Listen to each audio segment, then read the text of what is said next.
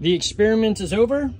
I took eggs that were a month old and put them in the incubator and it looks like two weeks was the hatching mark. So I got one on the 10th or April 10th, April 8th, and then in April 6th. So right there was just past the two week mark and they did not hatch. So I had older eggs, um, February, bunch of Februarys, there's a March, and those did not hatch either. Those um, didn't even show like anything was growing. This guy right here, something was growing, but it didn't finish off. So I'll go outside and show you the egg or the chickens that did come out. Right, from the last batch, all these guys did not hatch, and I'm gonna see if anything was in them.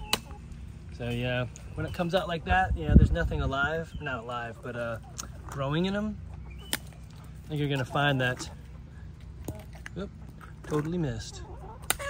Yeah, you can see all these eggs are gonna be, they weren't even fertilized.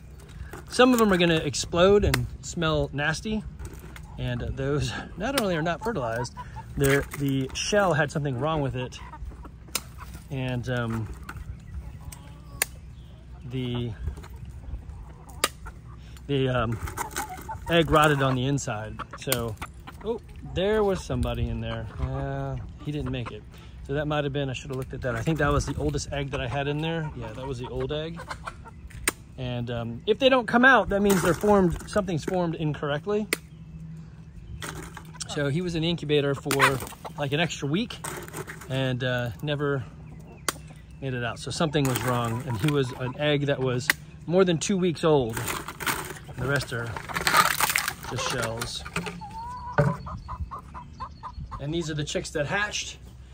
So it's always best to get the food and water off the ground. That way they stop kicking junk in it and it just makes less of a mess. I had extra water in there just in case.